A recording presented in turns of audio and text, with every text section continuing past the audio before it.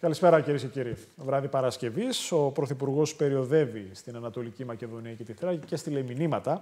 Όσοι φωνάζουν ότι θα έρθουν νύχτα θα προσγειωθούν απότομα στην πραγματικότητα, δήλωσε από την Κομωτινή ο Κυριάκος Μητσοτάκης, αναφέροντας ότι τα σύνορά μας θα παραμείνουν θωρακισμένα. Πόλεμος ξέσπασε ανάμεσα στο ΣΥΡΙΖΑ και στον Χρήστο Καλογρίτσα. Μετά την μήνυση του Νίκου Παπά στη γραμματέα του επιχειρηματία, η οποία δήλωσε το κατέθεσε μάλλον στο ειδικό δικαστήριο, περί χρημάτων που πήγαιναν στην Κουμουδούρου.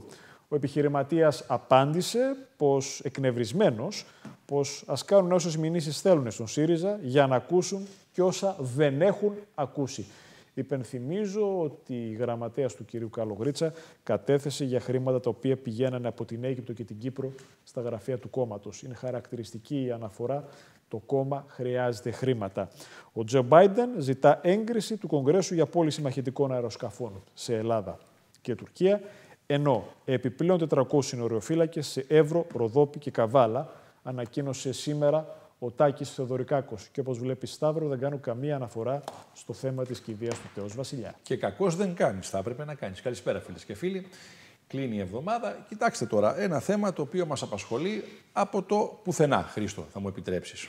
Τι εννοώ; Η κυβέρνηση έλαβε μία απόφαση, προφανέστατα πολιτική, ξεκάθαρα μάλλον πολιτική, με το βλέμμα προς το κέντρο. Θεωρώ, Χρήστο, ότι αν δεν είχαμε εκλογές σε 100 περίπου ημέρες, πάνω κάτω, ο Τέο Βασιλιάς θα κυδευόταν με τη μέσα αρχηγού κράτους, δεν θα γινόταν όλη αυτή η φασαρία. Αλλά τώρα ο Κυριάκος Μητσοτάκης τα έχει ζυγίσει, σου λέει: Έχω κάνει τέτοια προσπάθεια, τέτοιο άριμα προς το χώρο του κέντρου και της μετριοπαθούς αριστεράς. Είναι κρίμα να το χαλάσω εδώ στα χασομέρια. Και σίγουρα έχει ζυγίσει ότι αυτή η απόφασή του θα του στοιχήσει κάποιους άλλους ψήφους από τα δεξιά. Ενδεχομένως γι' αυτό, Χρήστο, πιστεύω ότι παρενέβη ο Αντώνης Σαμαράς με αυτή τη δήλωση, η οποία βεβαίως λένε πολλοί να έρχεται σε αντίθεση. Δεν είναι ακριβώς έτσι τα πράγματα. Σε συνεννόηση δηλαδή. Κατά τη δική μου ταπεινή εκτίμηση, κάποιος παίζει τον καλό αστυνομικό και κάποιος παίζει τον κακό αστυνομικό. Στο ίδιο μοτίβο και η δήλωση του ε, κύριου Άδωνη Γεωργιάδη, τι είπε Χρήστο μου, αν δεν ήμουν στο Κουβέιτ σε αποστολή, θα ήμουν στην κηδεία. Αυτά εγώ δεν τα καταλαβαίνω, Χρήστο όταν λαμβάνεται μια τέτοια απόφαση, θεωρώ πως όλοι θα έπρεπε, μιλώ για τους υπουργούς τουλάχιστον, πολιτικά να πειθαρχήσουν.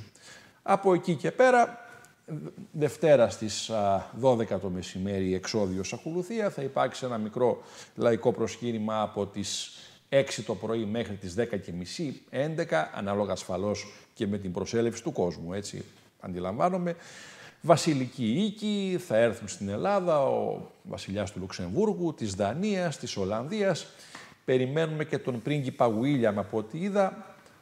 Οψόμεθα. Σε κάθε περίπτωση βρήκαμε ως καλοί Έλληνες μία ακόμα αφορμή να διχαστούμε.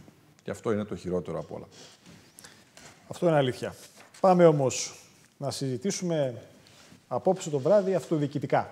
Ναι γιατί έχουμε τη χαρά να φιλοξενούμε μαζί μας εδώ στο στούντιο τον κύριο Βασίλη Γάκη, τον επικεφαλής της Δημοτικής Παράταξης Θεσσαλονίκη Υπεύθυνα. Κύριε Γάκη, καλώς ήρθατε, χρόνια πολλά και Χρόνια πολλά καλύτερα. και σε εσάς. Καλή επιτυχία στην εκπομπή σας. Είναι η πρώτη ε, τηλεοπτική μου παρουσίαση για το 2023. Εύχομαι να είσαστε ουρλίδες και εγώ σε εσάς να ευχηθώ τα καλύτερα. Και στους πολίτες που μας ακούνε. Να είστε καλά, κύριε Γάκη. Και νομίζω πως θα έχουμε την ευκαιρία, Σταύρο, να τα πούμε αρκετές φορές. Γιατί το 2023 είναι μια χρονιά προεκλογική. Είτε στην κεντρική πολιτική σκηνή, είτε στην αυτοδιοίκηση. Εκλογική, γιατί οι εκλογές φτάσανε. Να, εκλογική. Και επειδή πολλά λέγονται και γράφονται, ποιες είναι οι προθέσεις του Βασίλη Γάκη για το Δήμο Θεσσαλονίκης; Γιατί εκεί εστιάζουν κυρίως τα δημοσιεύματα. Για να το θέσω ευθέως, ο Βασίλης Γάκης θα είναι υποψήφιος δήμαρχος Θεσσαλονίκης. Λοιπόν, θα ξεκαθαρίσω κάποια πράγματα με την εντιμότητα την οποία απευθυνόμουν και, θα και απευθύνομαι τώρα στους πολίτες. Θέλω να αισθάνομαι χρήσιμος για την πόλη μου. Εάν αισθανθώ ότι δεν μπορώ να είμαι χρήσιμος, δεν υπάρχει κανένας λόγος συμμετοχής οπουδήποτε. Το ξεκαθαρίζω. Σε αυτή τη φάση με όλη την, ε, ε, την κατάσταση στην πόλη. Θεωρώ ότι είμαι χρήσιμος μόνο με δύο τρόπους. Ή θα είμαι υποψήφιος δήμαρχος Θεσσαλονίκης με την δική μου πρόταση και όσων πιστέψουν σε αυτή για την πόλη της Θεσσαλονίκης ή θα συμμετέχω στις εκλογές των, ε, των περιφερειακών εκλογών κοντά στον Απόστολο τον Τιζικώστα, ο οποίος, αν μη τι άλλο, είναι ένας άνθρωπος ο οποίος ακούει και με τον οποίο μπορούμε να συνεργαστούμε. Είναι μια ξεκάθαρη ε, άποψη και θέση και ενδεχομένως αυτό το διαζευτικό να δημιουργεί κάποιες απορίες ή, εν πάση περιπτώσει, να ε, ενοχλεί άλλους περισσότερο ή λιγότερο. Ξεκαθαρίζω γιατί. Καταρχήν το να κατεβεί κάποιος υποψήφιος δήμαρχος, εφόσον, όπως στην περιπροκειμένη περίπτωση, στην περίπτωσή μου, έχει θητεύσει πάνω από 30 χρόνια, νομίζω ότι και αν αγαπάει την πόλη του, λαμβάνει σοβαρά όλα. Και τι είναι αυτά τα οποία λαμβάνω σοβαρά; Δεν πρόκειται να πω σε καμία περιπέτεια ούτε εγώ ίδιος, ούτε και ανθρώπους δίπλα μου, εάν δεν δω ότι μπορώ σοβαρά και υπεύθυνα να διεκδικήσω. Και όταν λέω να διεκδικήσω, δεν εννοώ να πω να κάνω ένα ευχάριστο ταξίδι, να κάνω ένα ταξίδι το οποίο θα έχει ένα θετικό αποτέλεσμα για την πρόταση. Έναν προορισμό, μία κατάληξη για την πρόταση την οποία θα καταθέσω. Αυτό είναι το πρώτο. Το δεύτερο. Αυτή τη στιγμή το τοπίο δεν έχει καθαρίσει. Είναι πάρα μα πάρα πολύ υποψήφιοι. Και μάλιστα δυσανάλογα με το καινούριο εκλογικό νόμο και το καινούριο εκλογικό σύστημα. Δηλαδή, εάν από την πρώτη Κυριακή δεν προκύψει δήμαρχος, που για τη Θεσσαλονίκη με βάση τις δημοσκοπήσεις δεν βγαίνει δήμαρχος από την πρώτη Κυριακή. 43%. Το 43%. Και μάλιστα και από τις τελευταίες μετρήσεις ο Κωνσταντίνος Ζέρβας απέχει πάρα πολύ από αυτό το ποσοστό. Θα υπάρχει δεύτερη Κυριακή. Ο αυτός ο οποίος θα εκλεγεί δήμαρχος παίρνει τα δύο τρίτα του Δημοτικού Συμβουλίου. Δεν ισχύει δηλαδή το σύστημα της απλής ε, αναλογικής. Άρα λοιπόν ε, υπάρχουν αυτή τη στιγμή πολλές προθέσεις. Ζούμε σε μια ανοιχτή δημοκρατική κοινωνία. Εγώ τις καταλαβαίνω και τις δικαιολογώ. Αλλά δεν έχει καθίσει ακόμα, ε, να πω, το πολιτικό περιβάλλον. Και επιπλέον, ναι. επειδή με ξέρουν οι άνθρωποι οι Θεσσαλονικείς, πιστεύω αρκετοί, ό,τι βήμα κάνω θέλω να είναι σταθερό και μετρημένο. Και με μια σοβαρότητα απέναντι στην πόλη. Κύριε Γάκη, επειδή ακριβώς είστε πάρα πολύ έμπειρος αυτοδιοικητικός, πολλές δεκαετίες προσφοράς. Είμαι πάνω από 30 χρόνια. Ακριβώς. Πρωτοεκλέχτηκα 21 χρονών στο πρώτο δημοτικό διαμέρισμα στο κέντρο της πόλης, χωρίς να ακουστεί εγωιστικό. Πρώτος. Έχω θητεύσει σε πάρα πολλές θέσεις μέσα στο, στην τοπική αυτοδιοίκηση. Πέρασα και από την περιφέρεια για πέντε χρόνια το 2014-19. Αγαπώ την πόλη μου, αγαπώ τους ανθρώπους της πόλης και θέλω να την αντιμετωπίζω με σοβαρότητα. Θα μετρήσει όμως στην επιλογή την οποία θα κάνετε η ενδεχόμενη στήριξη ή μη, το διατυπώνω, θα δείτε πολύ προσεκτικά, από κάποιον κορυφαίο πολιτικό πυλώνα; Καταρχήν να πω κάτι. Σέβομαι όλους τους κορυφαίους κομματικούς πυλώνες.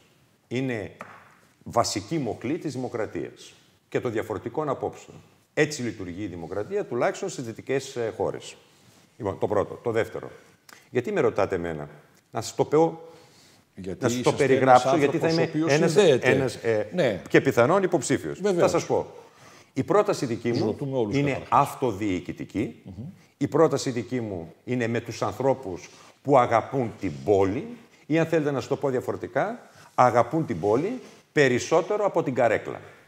Και ό,τι αντιληφθεί ο καθένας. Είμαι ξεκάθαρος και απόλυτος. Το πρώτο. Το δεύτερο. Μα και αυτή τη στιγμή, ποιον είναι δήμαρχος; Ποιος σας είπε ότι ενδιαφέρεται για να πω πάρει ένα χρήσμα; Δεν νομίζω. Μπορεί να φλερτάρει, ναι. μπορεί να φωτογραφίζεται, μπορεί να περιγράφεται με έναν συγκεκριμένο πολιτικό χώρο. Αλλά για να σας πω, ας πούμε ότι παίρνει ένα χρήσμα από ένα κόμμα. Κάποιοι, όπως ο κύριος Λεκάκης, ο οποίος ήταν και υποψήφιος με το Πασό Κινάλ, και ο οποίος από ό,τι ξέρω από τις μετρήσεις πάει και καλά. Ε, ή ας πούμε κάποιοι άλλοι, για να μην αρχίζω να αναφέρω ονόματα ναι. που ανήκουν ο Μπαρμπουνάκης, που είναι αντιδήμαρχή του κτλ.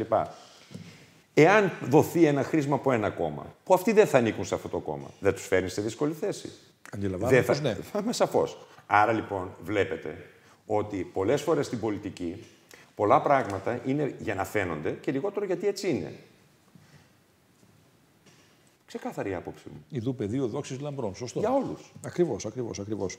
Όχι το ρωτώ, γιατί είστε ένας άνθρωπος ο οποίος διαχρονικά. Από όλα αυτά, αυτό το οποίο θα πρέπει να πάρουν οι Θεσσαλονικοί και όλοι αυτοί οι οποίοι μας ακούν είναι η συνέπεια.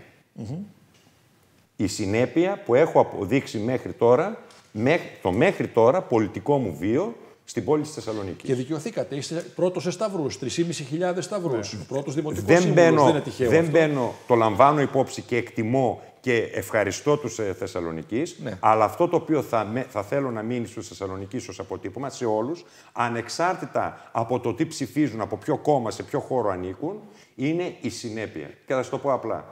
Δεν διαπραγματεύομαι την αξιοπρέπειά μου. Ψηφίζουν οι Θεσσαλονίκη αυτοδιοικητικά. Σε πάρα πολύ μεγάλο ποσοστό, ναι. Και από ό,τι φαίνεται από τις μετρήσεις, πλέον όλο και περισσότερο αυτοδιοικητικά. Και ξέρετε γιατί. Διότι το πρόβλημά τους είναι η καθημερινότητα που δυστυχώς γίνεται όλο και πιο σκληρή. Η λακκούβα, η καθαριότητα, τα σπασμένα πλακάκια, η τσαπατσουλιά που υπάρχει αυτή τη στιγμή στην πόλη. Όλα αυτά είναι υπαρκτά προβλήματα που τον νοιάζουν περισσότερο. Και αυτό το οποίο περιμένει από όλους είναι ποιος θα τους καταθέσει την πιο ολοκληρωμένη πρόταση. Εν πάση περιπτώσει, εφόσον ασχοληθώ αυτοδιοικητικά, αυτό ισχύει και για την περίπτωση της ε, περιφέρειας, αυτό το οποίο μπορώ να περιγράψω σαν δική μου πολιτική βούληση είναι μία λέξη που λέγεται νοικοκύρεμα, δηλαδή το αυτονόητο. Και πάμε να μιλήσουμε τώρα προγραμματικά, γιατί βάσει του προγράμματος κρίνουν οι Θεσσαλονικοί. Ο Βασίλης Ογάκης τι θέλει να φέρει το 2023 στη Θεσσαλονίκη; Είπαμε νοικοκύρεμα. Είπαμε συνέπεια. Το νοικοκύρεμα δεν το φέρει το 2023. Το νοικοκύρεμα θα ξεκινήσει από 1η Πρώτη το 2024. Το 2023 θα κατατεθούν όλες οι απόψεις, είτε αφορούν Δήμο Θεσσαλονίκης, είτε αφορούν πολεοδομικό συγκρότημα, είτε αφορούν και την περιφέρεια. Ναι. Εκ, πέραν βέβαια των εθνικών εκλογών, που αφορά και τα ξέρουμε όλοι μας, που αφορά όλη την ε, πατρίδα. Πρώτη πρώτου θα ξεκινήσει αυτός που θα εκλεγεί δήμαρχος να εφαρμόσει. Σας το είπα πριν. Το αυτονόητο. Νοικοκύρεμα. Γειτονιά. Το είπα πριν από λίγο. Εάν, ο Θεό, εάν θελήσει. Να το εξειδικεύσω, ναι. Εάν θελήσει. Ε, ο, αν θελήσουν τα πράγματα, να το πω ο Θεός πώ θέλετε, αυτό που θα δώσω έμφαση είναι στην καθημερινότητα και στη γειτονιά. Εγώ δεν αντιλέγω για τα μεγάλα έργα ή αν θέλετε να σας πω, δεν έχω αντιρρήσεις για κάποια έργα που κάποιοι τα χαρακτηρίζουν βιτρίνα, που εγώ τα θεωρώ σημαντικά, είτε αναφέρομαστε στην Αριστοτέλους, είτε οτιδήποτε άλλο μπορείτε να φανταστείτε. Αλλά αυτό το καινούριο το οποίο πρέπει να έρθει στην πόλη είναι η αλλαγή της πολιτικής τακτικής και της πολιτικής πρακτικής. Ξέρετε που είναι η ουσία η αυτοδιοικητική στην πολιτική τακτική και πρακτική; Στο γραφείο, αλλά και στο πεζοδρόμιο. Δηλαδή τι εννοώ; Εννοώ να κυκλοφορούμε μέσα στην πόλη, να αφουγκραζόμαστε τον πολίτη, γιατί μόνο έτσι θα μπορούμε να διοικούμε σωστά και να παίρνουμε σωστές αποφάσεις. Μέσα από τα κλειστά γραφεία και όταν κοιτάμε υφαψηλού τι καταστάσεις, λύσεις δεν υπάρχουν. Εγώ προσωπικά χαίρομαι. Στη δουλειά μου πάω με τα πόδια. Ακούω πολλούς συναδέλφους να μιλάνε για τον ΟΑΣΤ. Έχω μια πορεία. Πότε μπήκαν την τελευταία φορά μέσα στον ΟΑΣΤ; Αυτή τη στιγμή που μιλάμε, κυκλοφορούν περίπου 400 οχήματα από τον ΟΑΣ και, και παραπάνω, μαζί με το κτέλ, όπου είναι πολύ πιο σύγχρονα από ό,τι ήταν πριν 3-4 χρόνια. Αλλά παρόλα αυτά ξέρω ότι χρειάζονται, υπάρχουν διαρκώς ανάγκες το ένα το άλλο. Αλλά τις καταστάσεις της καθημερινότητας τις ζει ένας άνθρωπος ο οποίος μοιράζεται την καθημερινότητα. Αν θέλουμε τώρα να μπούμε σε μία λογική πιο συγκεκριμένων θεμάτων, θα μπορούσαμε να πούμε, αν και νομίζω ότι θα αδικήσω τα θέματα και τα προβλήματα τα οποία αφορούν την πόλη. Και να σας πω και κάτι άλλο. Αυτό το οποίο πρέπει εμείς, οι οποίοι συμμετέχουμε στη διοίκηση, να δώσουμε πολύ περισσότερο από κάθε τι, είναι ένα άλλο αέρα. Ένα άλλο συνέστημα στους ίδιους της Θεσσαλονίκης. Μία αισιοδοξία και μία ελπίδα ότι μπορούν τα πράγματα να είναι καλύτερα προσωπικά, εξ επαγγέλματος, έχουμε σε επαφή με νέους ανθρώπους. Έτσι. Μοιράζομαι καθημερινά τις αγωνίες τους, τις σκέψεις τους, το πώς στέλνουν τη ζωή τους και μέσα στη ζωή τους, ξέρετε, αναπόσπαστο κομμάτι είναι και η πόλη. Δεν μπορείτε να φανταστείτε πόσα μαθαίνεις από αυτούς τους νέους ανθρώπους. Δηλαδή δεν είναι μόνο αυτοί που μαθαίνουν από μένα, και εγώ που, μαθαίνω από αυτούς και τι μαθαίνω, τη σύγχρονη αντίληψη. Και με βοηθάει να γίνομαι και εγώ, μπορεί να ακουστεί εγωιστικά, όσο το δυνατόν πιο σύγχρονος. Μα είναι λογικό το θέμα είναι να μπορείς να ακούς την κοινωνία. Να γίνεις ένα με την κοινωνία. Να νιώθεις τον παλμό της κοινωνίας. λοιπόν, να το- κυκλοφορείς μέσα στην πόλη. Το προεκλογικό σύνθημα του 2019 επανεκκίνηση επανέρχεται και πάμε για μια νέα επανεκκίνηση. Κύριε Επανεκκίνηση ενδεχομένως για τη Θεσσαλονίκη. Αν τα πράγματα πάνε καλά. Και το λέω αυτό διότι πάντοτε θα πρέπει να σεβόμαστε την ε, λαϊκή εντολή. Και επειδή το είπα και πριν, ό,τι είναι να γίνει θα γίνει βήμα-βήμα και μετρημένα. Συζητήσεις γίνονται με Σαφώς ανθρώπους, γίνονται με συζητήσεις. ενεργούς πολίτες, με... Καταρχήν, ε, και ως Ζυμώσεις. επικεφαλής μιας παράταξης, έστω κατά σύμβαση, και λέω κατά σύμβαση, διότι όπως σας είχα πει, όπως είπα και στην, την πρώτη φορά που ανέλαβα επικεφαλής παράταξης, είμαι, αισθάνομαι ότι είμαι πρώτος μεταξύ ίσων. Δεν είμαι ο ηγέτης της παράταξης. Ηγέτης ήταν αυτός που την έφτιαξε, ο Νίκο Ταχιάου. Ναι. Ήρθαν έτσι τα πράγματα, να μην καθίσουμε τώρα Ε, καλά αυτό τελείωσε. ναι. ε, να αναφερθούμε πώς εξελίχθηκαν τα πράγματα, όπου ανέλαβε ένα πάρα πολύ δύσκολο ρόλο. Προσωπικά, για να καταλάβουν και οι Θεσσαλονίκοι, γιατί πολλοί έχουν μια απορία γιατί δεν γίνανε συνεργασίες το ένα το άλλο. Μα εγώ δεν είχα ανάγκη την καρέκλα. Δεν με ενδιέφερε η καρέκλα.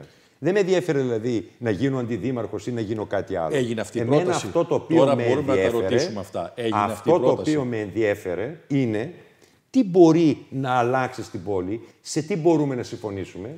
Αυτός νομίζω ότι ήταν πάντοτε η, βα- η βασική αρχή και ο βασικός άξονας και ο πυρήνας της ομάδας. Απλά πράγματα. Όσο βέβαια εννοούμε την έννοια ομάδα. Απλά δεν μπορούμε να, συνε- να μιλάμε και την ίδια στιγμή που μιλάμε να, ε, σε μια λογική σύγκλησης απόψεων μεταξύ δύο παρατάξεων, δύο ομάδων κτλ. Να προσπαθούμε πώς να την διαλύσουμε την άλλη.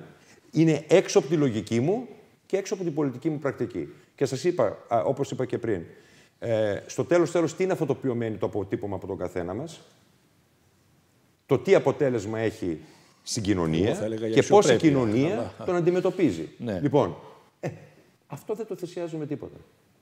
Και νομίζω ότι αναφερθήκατε, ας πούμε, στους πόσους ψήφους πήρα. Αυτά είναι ε, αποτέλεσμα. μια σημασία. Είναι αποτέλεσμα μιας συγκεκριμένης στάσης, όχι μόνο στα δημοτικά, απέναντι στη ζωή και στους ανθρώπους. Στάση ζωής. Στάση ζωής. Έτσι έμαθα από το σπίτι μου.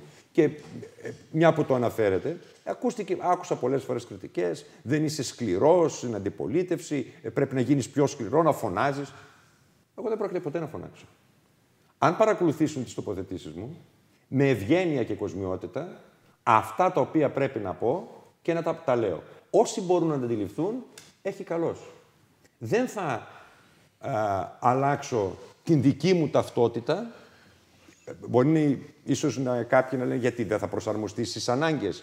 Άλλο το να προσαρμοστώ για το καλό της πόλης και του κοινωνικού συνόλου και άλλο να αλλοιώσω την προσωπικότητά μου ή αν θέλετε να σας πω να αλλοιώσω τις βασικές μου αρχές. Επειδή είστε άνθρωπος αυτοδιοίκησης, είστε άνθρωπος έμπειρος, έχω την απόφαση του Συμβουλίου της Επικρατείας αναφορικά με την νομιμότητα της αποφάσης των δημάρχων. Τι εκτιμάτε ποια είναι, ότι, είναι, η- ότι είναι η βέλτιστη δυνατή λύση για να μην διαλυθεί σήμερα ένας Δήμος; Πώς είναι ο Δήμος Θεσσαλονίκης που δεν υπάρχει μια σαφής πλειοψηφία από την πλευρά τουλάχιστον. Λοιπόν, θα σας πω ξεκάθαρα κάτι. Όταν ε, ψηφίστηκε ο νόμος του Εδωρεκάκου, Ναι. Ε, είχα τις προσωπικές μου ενστάσεις όσον αφορά ε, για τις δυνατότητες ή τις αδυναμίες που παρήχε. Και αν θέλετε έδινε και μία δυνατότητα να διαλυθεί και η, η παράταξη, να μείνουμε πολύ λίγοι, εν πάση περιπτώσει, από αυτούς που μείναμε από την παράταξη του Νίκου Ταχιάου. Δεν είδα όμως το δέντρο, δεν κάθισα στο δέντρο που μπορεί να ήταν η παράταξη. Κάθισα να δω το δάσος. Υπήρχαν και υπάρχουν, και αυτός σας το λέω και από τη θέση μου ως Γενικός Γραμματέας της Περιφερειακής Ένωσης Δήμων, υπήρχαν και υπάρχουν πάρα πολλά σοβαρά προβλήματα και σε πολλούς άλλους Δήμους. Ο Δήμος Θεσσαλονίκης είναι από τις καλύτερες θέσεις. Ο, ο Κωνσταντίνος Ζέρβας αυτή τη στιγμή έχει 23 με 25 δημοτικούς συμβούλους. Δηλαδή το αφήγημα δεν με αφήσα να διοικήσω όπως εγώ θα ήθελα, δεν μπορεί να το έχει. 25 δημοτικούς συμβούλους θα έχει ούτως ή άλλως ο, ο νέος δήμαρχος που θα εκλεγεί και θα προκύψει από αυτές τις Με τα δύο εκλογές. τρίτα. Με τα δύο τρίτα. Λοιπόν, άρα υπήρχαν όμως Δήμοι οι οποίοι είχαν σοβαρό πρόβλημα. Έρχεται λοιπόν εκείνος ο νόμος να καλύψει κάποιες αδυναμίες. Και όταν λέω προβλήματα για να καταλάβουν οι- οι τηλεθεατές σας, υπήρχαν άνθρωποι σε κάποιους άλλους πιο μικρούς Δήμους που το είχαν, είχαν προσωπικό άχτη ο ένας με τον άλλο και δεν μπορούσαν ακόμα και για τα αυτονόητα να συνενέσουν. Τώρα, πολιτικά. Αυτή τη στιγμή νομίζω ψηφίζεται ένας ε, νόμος, όπου εκεί μέσα έχουν συμπεριληφθεί και πολλές διατάξεις που αφορούν την επίλυση του θέματος αυτού. Είναι τη Δευτέρα, στην τροπολογία για την ναι. πολυεπίπεδη διακυβέρνηση. Μπράβο, για την πολυεπίπεδη διακυβέρνηση. Διαφαίνεται ότι η λύση θα είναι για, με, για την μεταβίβαση αρμοδιοτήτων. Δεν μπόρεσα να το διαβάσω. Υποθέτω, μεταβίβαση αρμοδιοτήτων α, στο Δημοτικό Συμβούλιο, ενδεχομένως απευθείας από τη διοίκηση ε, ή από τις υπηρεσίες, ναι. που είναι μία δόκιμη λύση, αλλά και όποια λύση κι αν ε, ψηφιστεί ή προταθεί, ακούστε λιγάκι ένα νομικίστικο, το οποίο όμως είναι σημαντικό. Ας πούμε ότι αυτό μπορεί να βγει ο κύριος Ωραίλο και να πει ένσταση δεν είναι συνταγματικό. Ωραία. Θα κάνει την ένστασή του στο ΣΤΕ, θα ξαναεξεταστεί κτλ. κτλ. Η εξέτασή του αυτή θα πάρει πάνω από ένα χρόνο. Μα οι εκλογές. Πέφτουν με εκλογές. Τελειώσανε. Θα έχει εκλεγεί η νέα διοίκηση. Έτσι κι αλλιώς η νέα διοίκηση των Δήμων θα διέπεται η λειτουργία της κτλ. κτλ. από τον καινούριο νόμο που έχει ψηφιστεί. Οπότε λύνονται. Λύσεις υπάρχουν. Να μην ανησυχούμε δηλαδή. Αυτό είναι θετικό. Εγώ τώρα λίγο να φύγω από την συζήτηση για το Δήμο, γιατί ο κύριος Γάκης για να μπορέσει εκ του νόμου να διεκδικήσει είτε την εκλογή του ως δήμαρχος Θεσσαλονίκης, είτε την εκλογή του στην περιφέρεια Κεντρικής Μακεδονίας με τον ψηφοδέλτιο του κ. Τζικό, θα έπρεπε να υποβάλει την παρέτησή του από το Μέγαρο Μουσική Θεσσαλονίκης. Και το λέω γιατί πολλοί με ρωτούν, μα γιατί παρετήθηκε ο Γάκης, μα αν δεν παρετούντο, δεν θα μπορούσε να είναι υποψήφιος. Το Ταμείο, κύριε Γάκη, διαβάζω μια συνέντευξή σας το 2020 στην εφημερίδα Καρφίτσα. Ένας από τους στόχους σας στη συνάδελφο την, κυρία, την Φιλίπα Τιβλαστού, να αναδείξουμε τη Θεσσαλονίκη σε μητρόπολη πολιτισμού, να συμβάλλουμε στην προσπάθεια αυτή.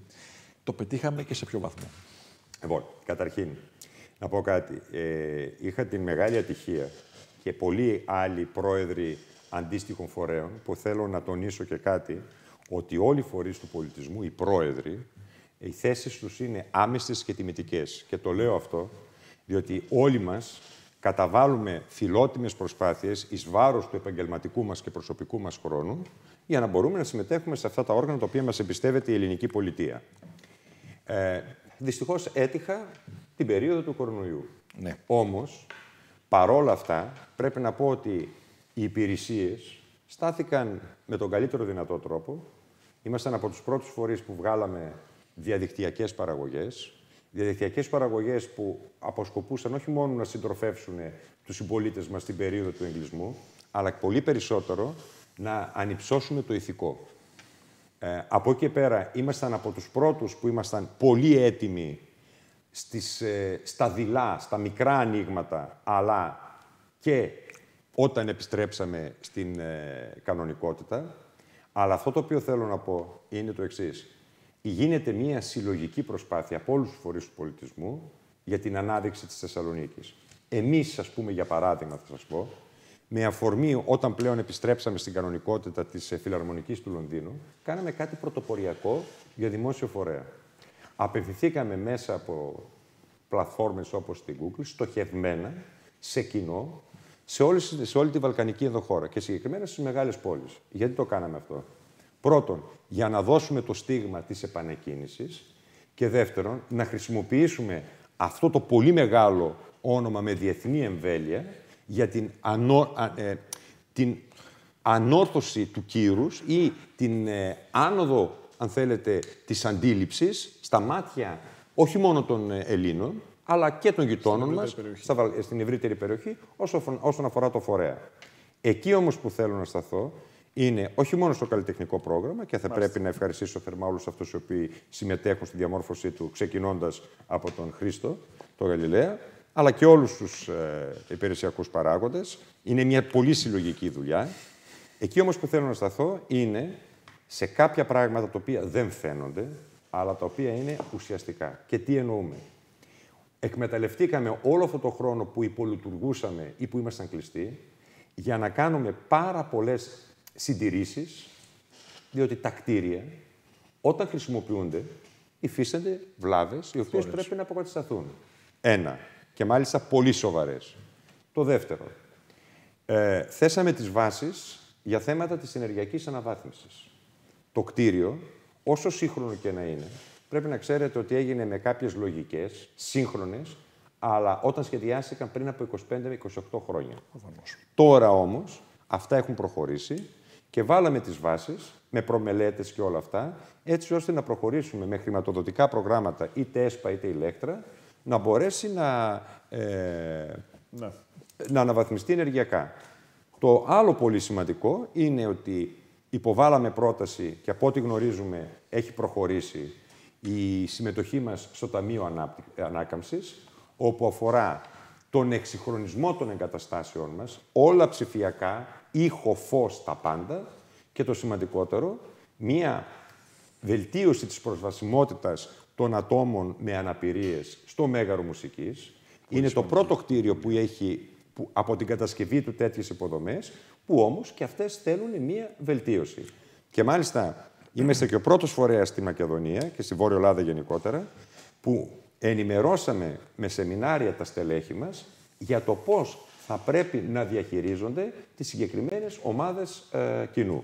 Και βέβαια αυτό το οποίο μπορείτε να το δείτε κιόλας, ε, αξιοποιήσαμε τους ανοιχτούς χώρους κυριότητάς μας στην πλατεία που δημιουργούμε μια ανοιχτή γλυπτοθήκη, δημόσια γλυπτοθήκη, φέροντας σε επαφή διαφορετικές μορφές τέχνης. Μάλιστα. Κύριε Γάκη, σας ευχαριστούμε πάρα πολύ. Εγώ ευχαριστώ. Να ευχηθούμε τα, τα καλύτερα, κάθε επιτυχία. Εγώ θα πω καλή Υγεία να έχουμε και επανεκκίνηση. καλή δύναμη και θα προχωρήσουμε. Μην βιάζεστε να γίνετε νουνός. Έτσι. Είναι Γιατί μια λέξη εγώ που παίζει. πάντως, εγώ πάντως δεν βιάζομαι. Ε, όπως σας είπα, θέλω κάθε βήμα να είναι σταθερό και υπεύθυνο για την πόλη μου. Σε ό,τι και να κάνετε, καλή δύναμη. Καλή Ευχαριστώ δύναμη, πάρα καλή πολύ. επιτυχία. Ευχαριστώ. Φίλες και φίλοι, πάμε σε σύντομο διαφημιστικό διάλειμμα και επιστρέφουμε σε πολύ λίγο.